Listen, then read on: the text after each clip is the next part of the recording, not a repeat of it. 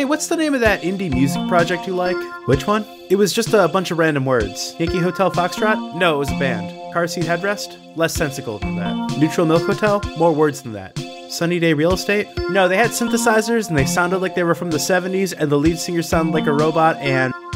Black Moth Super Rainbow?